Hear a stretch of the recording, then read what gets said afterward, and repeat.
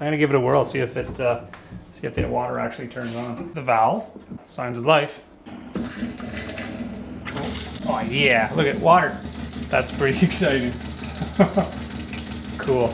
Good morning guys. Today we're at the uh, small cabin in the woods. If you're just joining me, this is your first video. So this is our off-grid cabin. We've been working on it for a while. So today we're gonna address, I guess it's a pretty major problem. There is no water here. So what we're gonna do today is we're gonna actually build a rainwater collection system from reclaimed ABS pipe. And we're also gonna do a rain catchment system.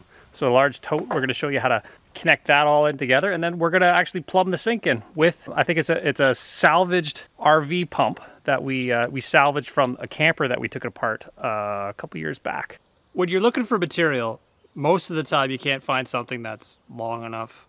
You don't have enough of it. So if you could collect it over time and stockpile, say, lengths of four inch ABS pipe. Now, if you were to buy this stuff, it's it's about 50 bucks a length and it's 12 feet long. And a lot of the times it's not long enough or, you know, you want it to be whatever, you want to be 30 feet. Buying couplings are expensive. And on this build, I sort of vowed not to spend any money. So I have a bunch of this stuff lay, laying around. So what I'm going to do is I haven't tried this before. Well, I've tried it before. I know it works. But I haven't officially tried it before. So I wouldn't use this in your house. Like if, if you're worried about a leak, I wouldn't do it. This is an eave trough, so it's not it's not, you know, mission critical sort of thing. So what I did to make this stuff work is actually I used just to basically I buttered the ends of these pipes with ABS glue. So just run of the mill ABS glue and I butter the ends. And then what I did is I let that dry up a little bit. And then I did the other side. Stuff smells great, doesn't it? You let that tack up. And then you do the other side again. So it's the second time. Then you've got a nice thick coating of ABS glue. And that what you do is you bury them together. Just like this. If you're using a traditional coupling, you don't really have to wait any time. So what I did was I used an old piece of two and a half inch steel track. It's actually steel stud. So steel stud, and then I use it as a guide and allows me to actually place the pipe on the guide to dry. And that lines up both sides. It makes it nice and straight. And you give that, I don't know, I think I gave it a half an hour a piece. I was able to take scraps of four inch ABS pipe and make it really long. That's gonna be my eave trough. I just got to cut a channel, mount it on the roof. So I'm to make a template, a little mock-up to see if this is actually to work with, an, with a smaller section and then cut into my big big piece pipe because I don't want to wreck my big piece pipe. The idea is to cut down a channel in it and uh, mount it to the mount it to the eaves. Okay, let's get started.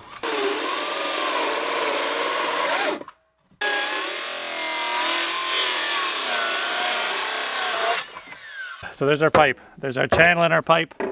Um, as you can see, what we're going to do is we're going to put this pipe on the edge and it's just tucks in behind there. And then all the water that flows off the roof is going to go right in that pipe. And we're going to collect it and we're going to wash some dishes. I'm using a chalk line to mark the center of the pipe.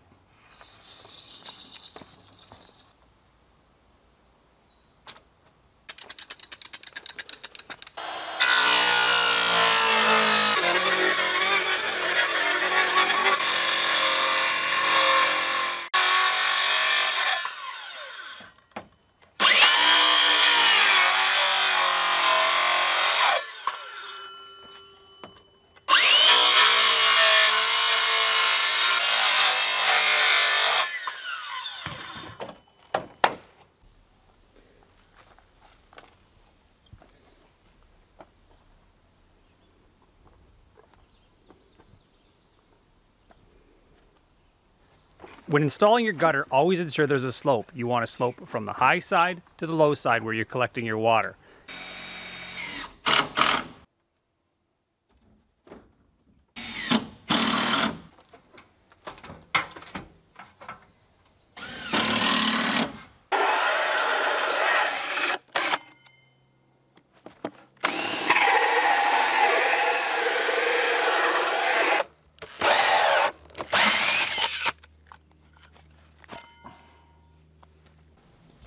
That uh, cedar plug that we cut out, just going to put a little bit of silicone on the edge.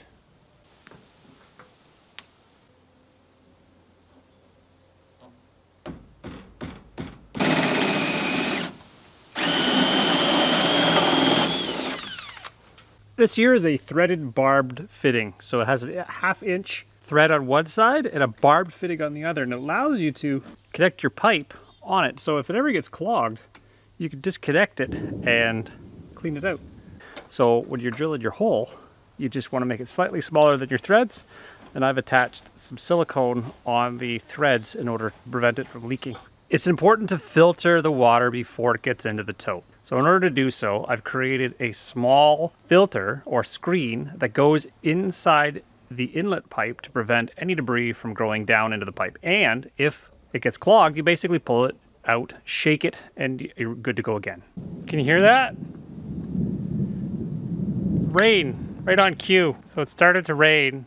My silicone's not quite dry yet. Let's see if I can get the tote where the rainwater is going to be stored in place. Um, before we get too much rain.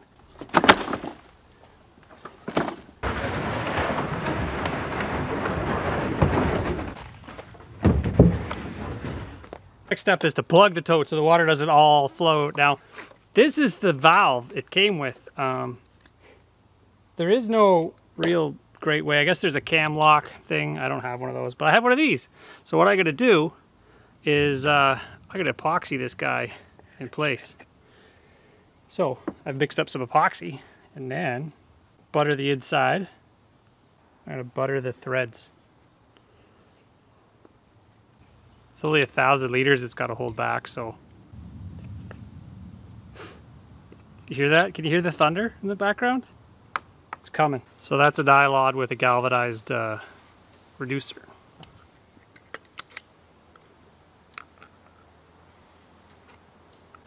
That's the stuff I used. plastic bonder. What if it structural adhesive? It's structural, so it should be okay. Again, this is not what I recommend doing. This is just what I'm doing. So do your own research. So this guy screws into the back of the tote. This is the valve, the main off valve from your water supply. And this will be the feed to the tap. So it's starting to rain. I'm losing all my rainwater. This is a sump pump hose that a guy named Michael gave me. He's like, you want one of these? And I was, I don't know. No, I don't. And then he was like, well, you never know when you need one. It's true. I, I never know when I need one. So, ah.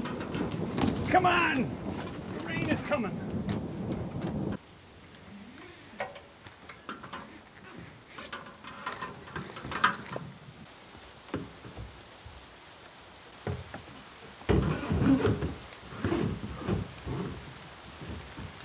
All right, so that's gonna have to do for now. Let's uh, get my tools out of the rain. Oh, jeez. You're saying, put the camera down. Go get all your tools. Well, why don't you come with me?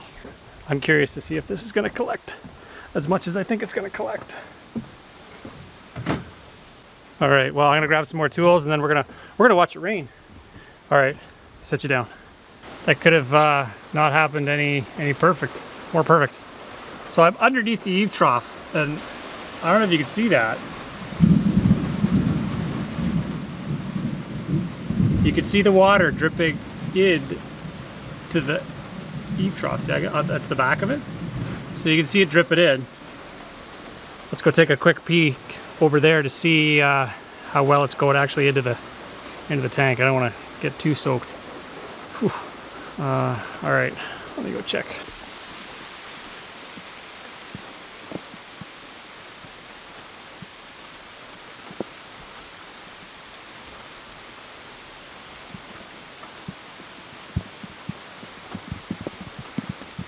All right, well, I'd say that's a success.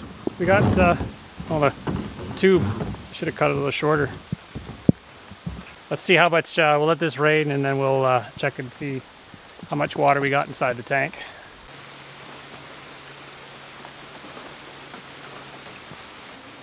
Rain's scary, eh, Bean? It's okay, buddy. We're back at the cabin the next day. As you can see, it rained quite a bit last night. Uh, we've got, I don't know, like based on the level on the line at the side, we've got about 100 gallons of water, which, which is pretty significant. So I'm I'm pretty impressed with the the collection system. So it did work. So um, yeah, now we're gonna we're gonna hook it up. We've got a little 12 volt uh, pump that we've scavenged from the old camper. So we're gonna put that in line, pump it to the sink, and we're gonna have indoor water. This tank here, generally they have those metal cages around them. Um, I use those for firewood, so I don't uh, I don't really want to use one for a tote. So I'm going to reinforce that with wood, hook up the pump, and uh, yeah, indoor water.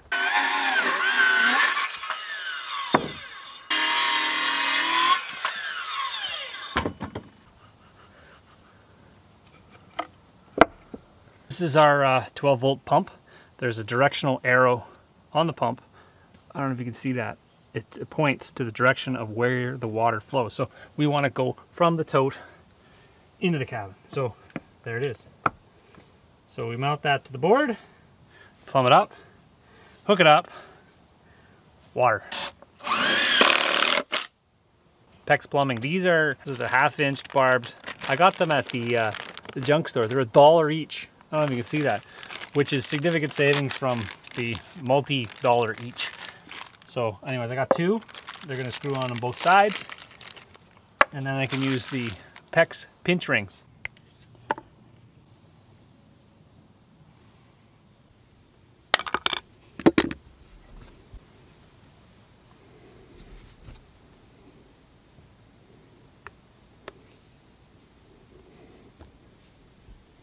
This is a PEX pinch ring crimp tool.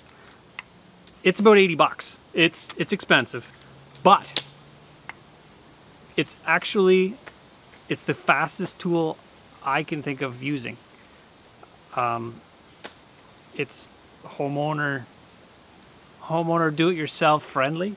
So what you do is you, you get yourself, you got yourself your PEX piping, which is the future or if it's the present of plumbing you got your pinch ring, you slide your pinch ring over your pipe, and then you use your crimp ring, or your crimp tool, to pinch the ring on. And basically what it does is it makes a watertight fitting. So that's, that's the fitting there, and that's an end cap.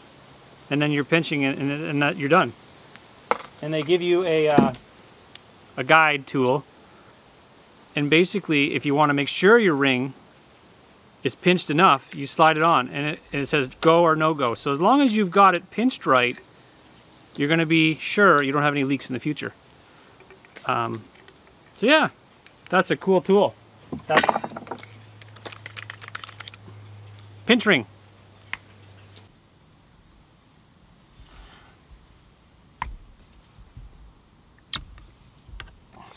This little bowl here, actually, I just took it off and it actually this is our strainer so this gets rid of the particulates out from the water particulates meaning big chunks um, and it does smell a little bit like antifreeze so it was put away properly. So that's good. I'm pretty confident in that. So yeah now we're ready to plumb it in the uh, cabin. The Dwayne the Dwayne. Okay so this is underneath the sink. Uh, what we're to do is we're to attach this. This is a tailpiece adapter.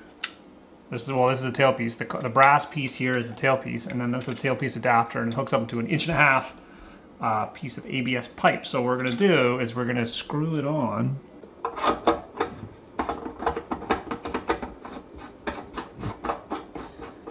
company's called RIDGID, and it's a pipe cutter. Now it allows you to cut ABS pipe without using a saw. It's really messy when you use a saw and you cut a ABS pipe, little chunks of pipe go flying everywhere. This thing's really neat because what you do is you basically figure out where you want it. You set your pipe, you set your tool on the pipe, it holds it by itself, and then you just turn. Just like that. You get to cut a pipe, there's no mess. It's like exact, it's square. Big box stores carry it, little box stores carry it.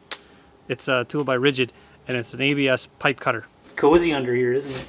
So I'm gonna measure basically from this, this tailpiece adapter. So the tailpiece adapter slides up and down so uh, you can adjust your height. So what I'm gonna do is actually measure from the floor up. And that allows me some play. So if I go 25 inches on the floor, poke a hole through the floor, comes out through the bottom of the cab of the cabin, and then I'm gonna put an elbow on it and drain somewhere out the front. Um, there was a debate whether or not to put a uh, P-trap in, and in this case, I don't think I'm going to, simply because I think it's going to freeze uh, and break. So there's water standing in the P-trap. It's not draining. It's it's basically draining into the ground. So there's not going to be sewer gases or whatnot, and that's what the P-trap prevents. So I guess the worst thing we'll have is a mouse climbing up the pipe, which would be interesting.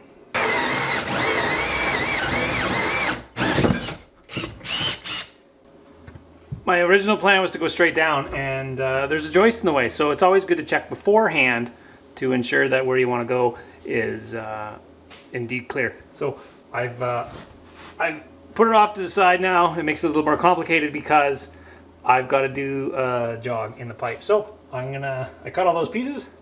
Now I'm just gonna glue them up. Oh, that smell.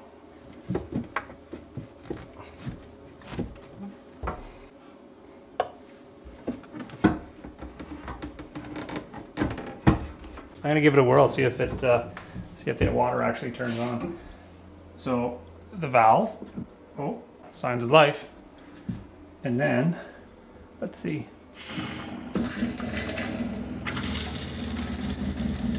Oh yeah, look at water. That's pretty exciting. cool. And that's the sound of a RV pump, I'm assuming. So yeah, look at that. That's pretty impressive. I'm impressed. Are you impressed? That's cool. I always like to get stuff up and running. So as you can see, this is this isn't uh, very pretty. So now I'm going to work on uh, making it pretty. We got a rain collection system. I didn't do the other side because there's big plans for the other side. You got to stay tuned for that. And then once the other side's the other side of the cabin's complete, isn't complete. Maybe there's an addition going on. There's big plans for that. Do a rainwater collection system and actually how to plumb it in to your outdoor off-grid cabin or whatever you whatever you feel like plumbing in, maybe a shed or a I don't know, maybe an outdoor kitchen. Uh, on a next, next video, I'm going to actually, I've got an idea on how to supply hot water. That's gonna be an interesting build. I'll see you on the next one.